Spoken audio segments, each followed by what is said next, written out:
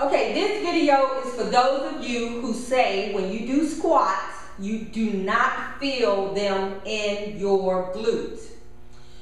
Feeling squats in your glutes has a lot to do with how you place your feet. So I'm going to show you how to have a wide stance as you squat down so you can feel it more in your glutes. Now, of course, these are squats, so you always have rules with squats that I always like to express. First of all, with the wide stance, your feet are wide.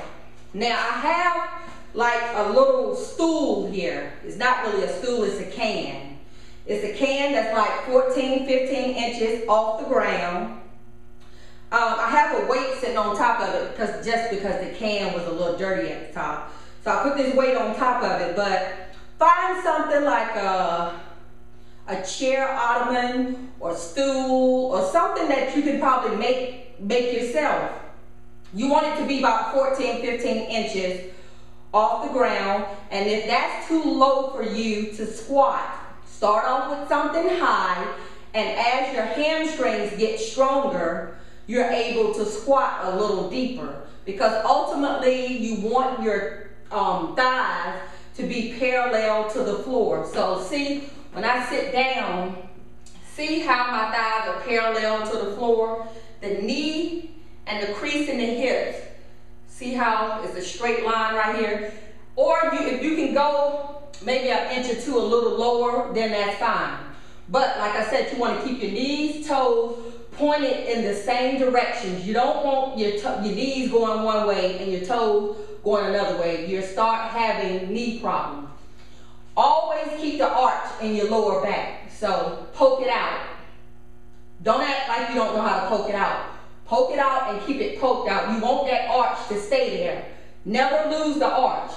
Keep your chest out and look forward because if you look down, you tend to curve your upper body forward. Another thing, when you sit down, like I said, do not plop down. You don't want to cause all that pressure on your lower lumbar. So make sure you do that. When you're sitting down, make sure your hips is what drives you down. When you come up, make sure your chest it was, is what drives you up. Always remember that. Place the barbell on your upper shoulders Make it tight. Keep it tight. Keep your arm, well, keep your elbows down. And when you squat down, like I said, like you're sitting on a toilet, bring this in. Keep this in. It stabilizes the back. Trust me, keep this in. Very, very important.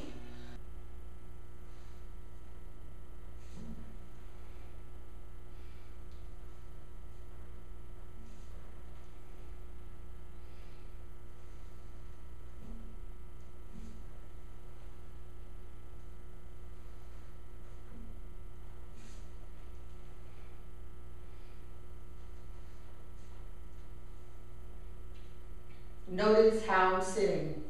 Legs are open, knees and toes are facing the same direction.